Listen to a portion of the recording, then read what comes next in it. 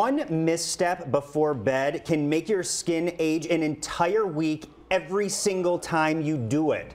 Hope that got your attention because our skin expert Lynda Moore is here with what you can do today to make an immediate difference in your complexion. And that sounds pretty alarming, Lynda. It is, it is.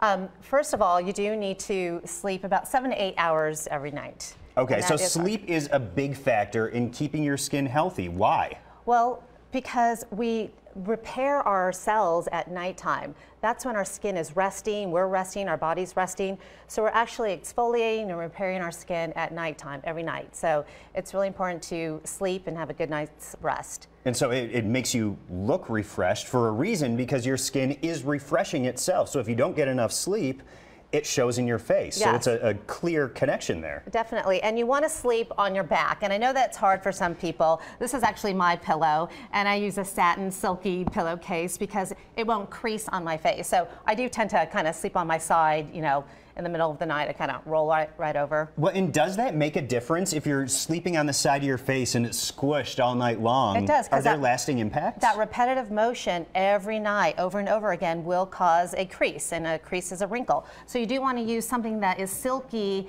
that won't, you know, that will kind of slide off your face if you think of it that way. So that you don't have that fabric kind of creating an indent yeah. that you might be stuck with permanently if you don't change your pillowcase, yeah. which is kind of gross. So you do want to sit on your, or sleep on your back with okay. your face up, and you do want to use retinols. Retinols and exfoliants at nighttime are very important because it's helping with that cell renewal process. We want that to get new cells every day to exfoliate. So.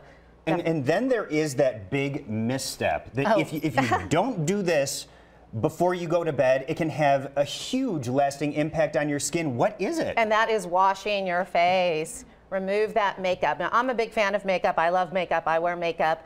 But what happens is, is that every day we, we're, uh, we get the environmental pollutants that goes into our skin, dirt and oil, they just kind of marinate onto our face. So you do need to remove that. If you don't, that healthy collagen will break down.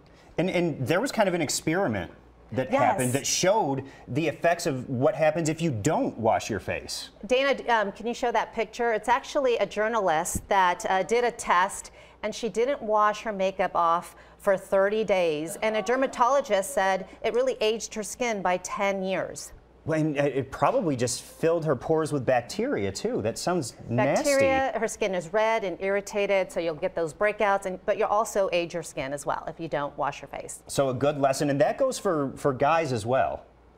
Right. Well, men usually don't wear makeup, so they have that pollutant and that dirt and that pollen just right on their skin. So yes, they do need to remove that every night. Okay. And then if we do have damage, are there things we can do quickly to, to rejuvenate ourselves? Well, at nighttime, I love an eye cream, obviously, because we're resting and we could really you know, absorb those products onto the skin. And then a lightening agent as well to brighten the skin if you have pigmentation. You know, this is the best time to do it at nighttime, not in the daytime when you're kind of, you know, you're out in the sun. Sure. Well, it's a good thing to remember, Lynda. Thank you very much. And as we spring forward this weekend, remember to wash your face and get plenty of sleep, guys.